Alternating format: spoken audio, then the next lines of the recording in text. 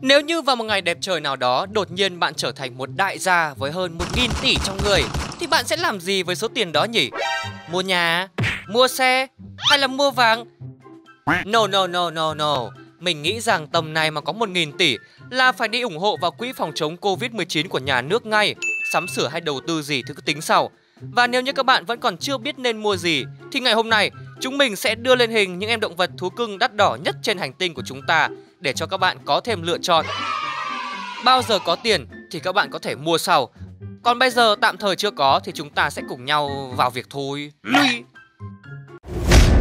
Không giới hạn, kênh động vật số 1 Việt Nam.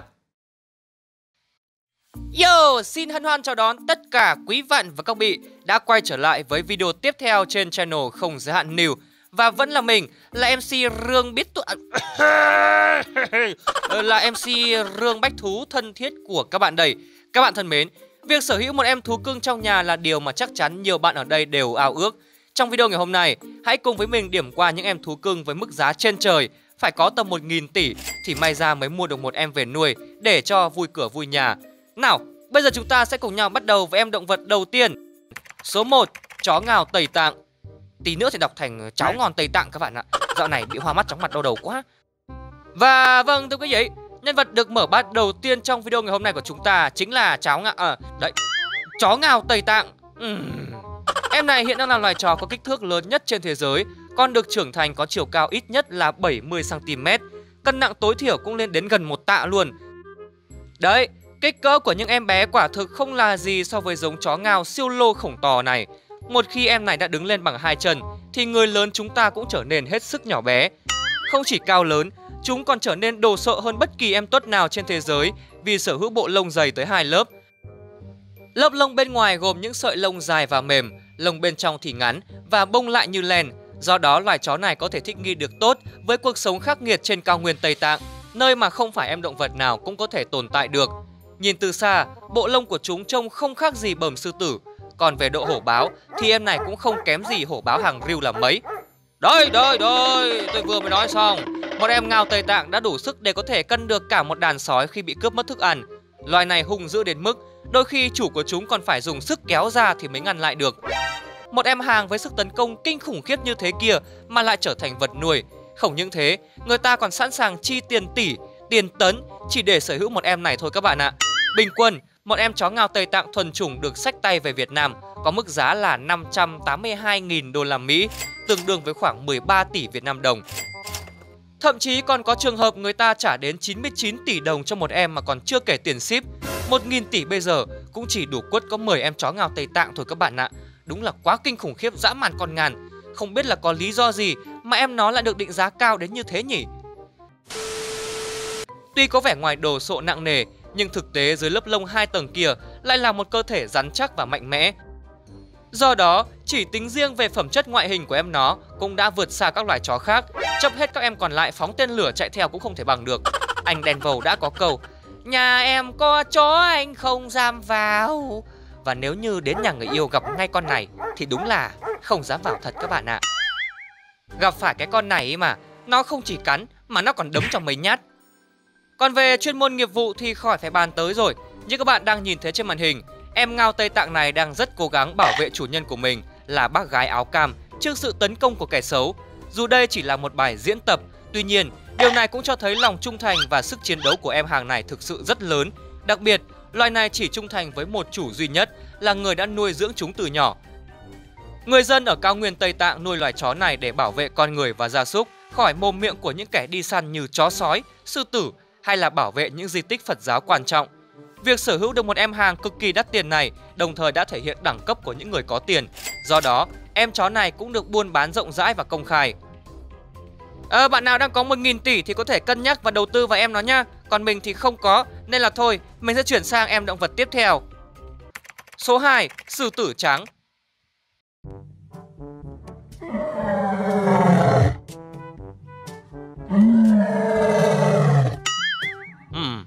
Mở đầu phần mới thôi mà sao lại có cái con này kêu chán thế chứ lệ? À, chuyển con khác đi anh ơi. Đấy các bạn nhìn xem. Đường đường mang tiếng là chúa tể muôn loài hẳn hoi Mà cái giọng thì cứ khu kha khu khi Như kiểu đang ngáy ngủ ý. Đã thế nhá, mình sẽ trừ lương hai con này cho các bạn xem. Vớ vẩn cho gọi em sư tử trắng khác lên hình cho nó khác bọt tí xem nào.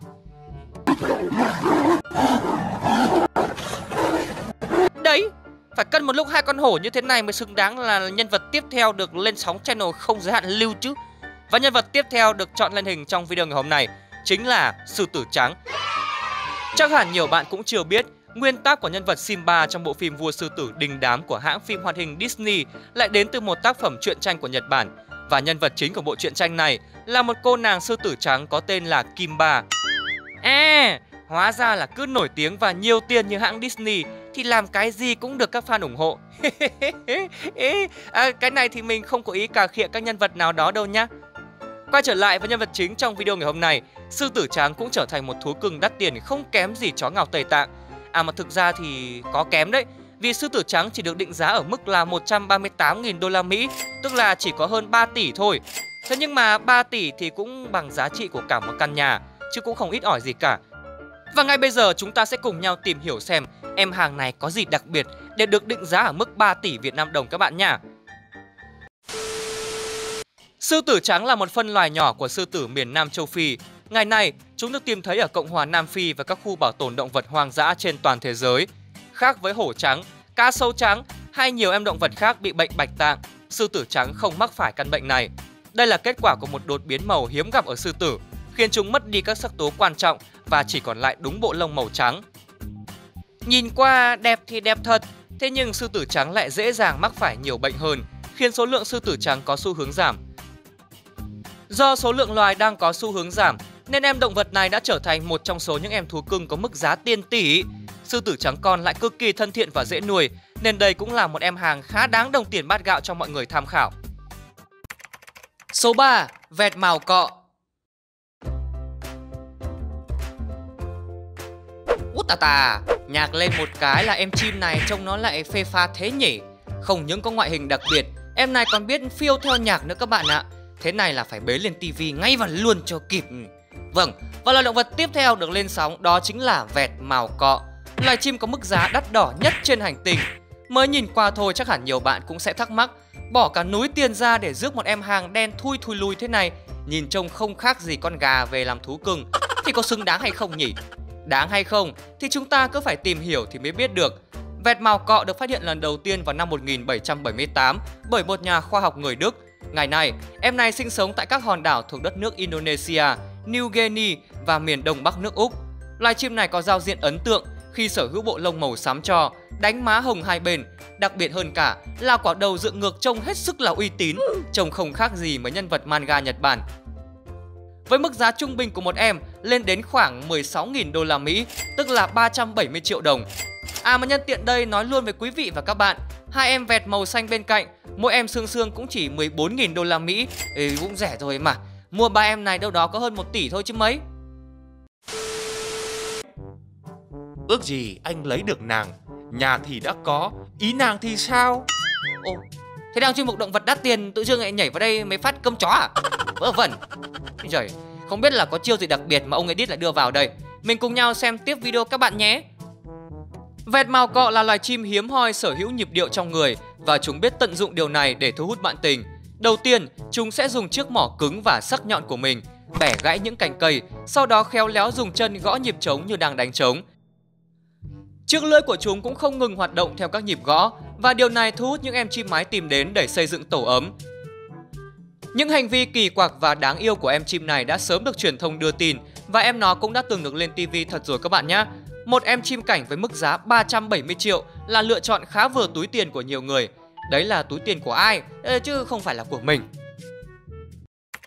Số 4. Green Monkey Green Monkey ở đây không phải là con khỉ màu xanh lá cây đâu các bạn nhé. Đây là tên của một giống ngựa đua ở Mỹ. Loài ngựa này chính là nhân vật chùm cuối trong video ngày hôm nay. Mà một khi đã được chọn làm chùm cuối thì chắc chắn là phải có một điều cực kỳ đặc biệt rồi.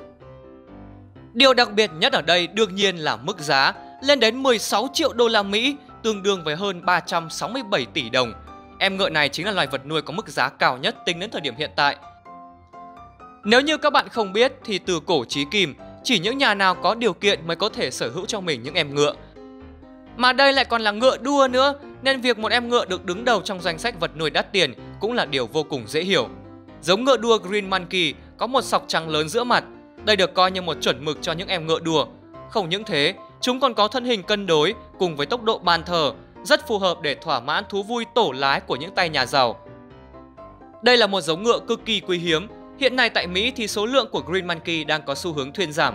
Do đó giá thành của một em ngựa Green Monkey rất cao và sẽ tăng thêm nữa nếu như những giải đua ngựa được mở trở lại. Với mức giá 367 tỷ đồng, ai có 1.000 tỷ thì có thể sở hữu hẳn hai, hai, hai em ngựa rưỡi loại này. Khéo mặc cả thì có khi mua được 3 em đấy các bạn ạ. Ai có thì nhớ đầu tư nhanh, không thì em này mà tăng giá nữa có mà chết. Mình thì mình cũng yêu thích các em động vật lắm, thế nhưng mà còn lâu mình mới có 1.000 tỷ nên là chúng ta đành chỉ gặp nhau trên tivi thôi các em nhá. Nếu như chúng ta có duyên với nhau thì anh sẽ lại bế các em lên gặp khán giả của channel không giới hạn new tiếp. Nhắc đến 1.000 tỷ nãy giờ cũng phải 5, 6, 7, 8, 9, 10 lần rồi các bạn nhỉ. Nói nhiều quá nên mình quên mất rằng video ngày hôm nay của chúng ta đã đi đến những phút giây cuối cùng. Chúng ta đều là những nhân vật mà không có nổi 1.000 tỷ Nên là nếu như các bạn yêu thích video ngày hôm nay Và có nhu cầu sắm sửa những em thú cưng tiền tỷ Thì hãy tặng cho chúng mình một like Chia sẻ video với người thân bạn bè Cùng với đó là subscribe channel không giới hạn new những em động vật độc đáo cũng như chủ đề hot nhất về thế giới động vật Sẽ được chúng mình cập nhật liên tục và gửi đến các bạn trong thời gian tới Kênh của chúng ta thì đã đạt 1 triệu sắp rồi Mình cùng với các anh em trong ekip rất cảm ơn các bạn đã mang lại thành quả này giúp chúng mình đây cũng sẽ là động lực để chúng mình phấn đấu hơn trong thời gian sắp tới.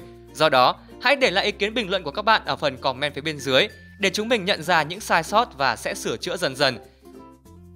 Bạn nào thấy idol nhà mình chưa được lên sóng thì cũng hãy gợi ý cho chúng mình ngay, khả quan là bế được lên luôn. Cuối cùng thì mình xin chúc tất cả các bạn và anh chị em họ hàng gần xa có một buổi chiều vui vẻ tốt lành. Mình là MC rương thân thiết của các bạn đây. Mình già.